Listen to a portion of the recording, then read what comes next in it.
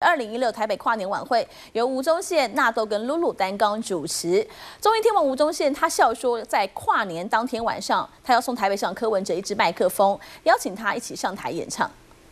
二零一五进入倒数阶段，今年台北场的跨年主持群十五号抢先曝光，曝光综艺天王吴宗宪、新生代主持人露露以及纳豆三人合体饰演将组成最好笑的主持群。吴宗宪更在现场爆料，要送台北市长柯文哲一支麦克风，要让他在跨年当晚忍不住上台献唱。我们会请人呐，我我那个对对对，跨年的时候，然后我送一个礼物给他，是，我送一个礼物给他，那个礼物哦，然后就一个盒子，嗯，然后露露，我下去。用美色诱惑，就摆在市长前面的桌子。嗯，对。然后我说，请市长把它打开。嗯。然后市长一打开，里面是一支麦克风。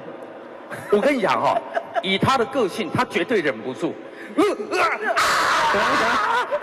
今年主办单位特别邀请到众多知名歌手前来助阵，当晚不仅会有天后张惠妹带来一小时重新编排的演出，谢金燕、潘玮柏和萧亚轩也将带来劲歌热舞，要与民众一起欢度岁末年终的快乐时光。每年跨年其实都会有一定的一些邀约嘛，可是我觉得这次，呃，去年其实对我来说是比较辛苦的一年，因为去年在跨年的时候就是十月头受伤嘛，然后呢就是在跨年都看着很很心酸，因为你会觉得你也希望能。